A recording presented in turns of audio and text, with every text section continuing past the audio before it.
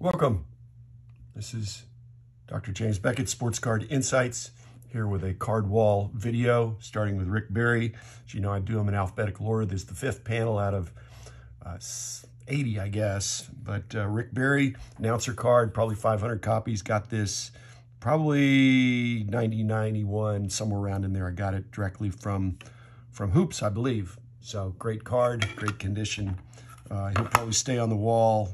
Um, again, he's uh, an excellent announcer. Hank Bauer, probably not going to be on the next iteration of the wall, but I like the card back in the day. This is in the first iteration. Uh, 52 Topps, one of the classic, classic sets. Uh, it's a nice condition card. Uh, Sammy Baugh, Slinging Sammy from TCU. That's local.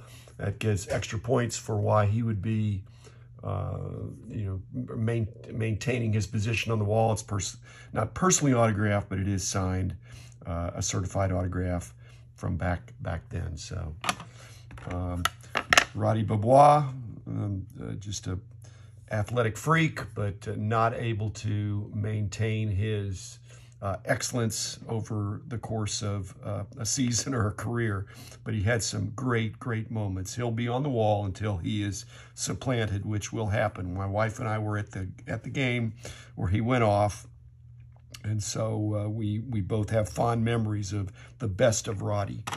Uh, this is uh, homage to my soccer friends, and I like soccer too. But there's Franz Beckenbauer, one of the greatest of all time, a German midfielder, and uh, that's probably going to be on the wall for a long time. Uh, this is another Beckett-centric uh, card. Not all the cards are, but this is a Beckett's victim of a, of a corner in a race in uh, Great Britain, I guess. And I, I don't think this is going to make the wall, but it's going to be an interesting card for a little while. Cricket card. I think I'm going to keep this card on for a long time. Uh, it's uh, E. E. A Beckett, uh, kind of an Australian cricket card. So thank you for that. I like that. I know we're going to pick that up a long time ago. This is my Topps rookie card, even though it's in uh, gem mint condition. It is getting bounced from the wall in favor of, uh, because the preference is for a pack pulled card. Now, this is not the same as the fan favorites card that you may have seen that was uh, it's, it's more plentiful. This is the one that was pack pulled and certified autographed. I actually was presented at a contract with Topps. They brought a witness representative person over the office back in the day, 15 plus years ago, and I had to uh, sign them in their presence. And for my, uh, I didn't get very much money, but I got a couple of the autograph cards, and I got this one slabbed. And, uh, and it's a cool card. Uh, okay, another uh, Beckett card. Uh, this is Joe Beckett. Looks like he says a heavyweight. He looks like a middleweight to me, but uh, he was he was a, bruising boxer back in the day, and I'll keep him on the wall for a while. After it all, is is my wall.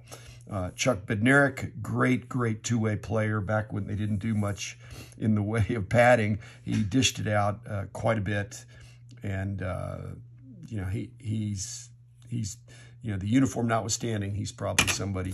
I wanted to thank sponsors. Probably would do this even without sponsors, but it's fun to have sponsors that I have confidence in and like to give a shout out to. Uh, you may notice that uh, I left out Elgin Baylor. He's in the next queue of things at BGS. And I'm, I'm on a wait and see for OBJ of uh, Odell Beckham Jr. We'll see how he uh, finishes up, uh, but he's a possibility. So thanks, everybody, and I'll have another panel uh, tomorrow.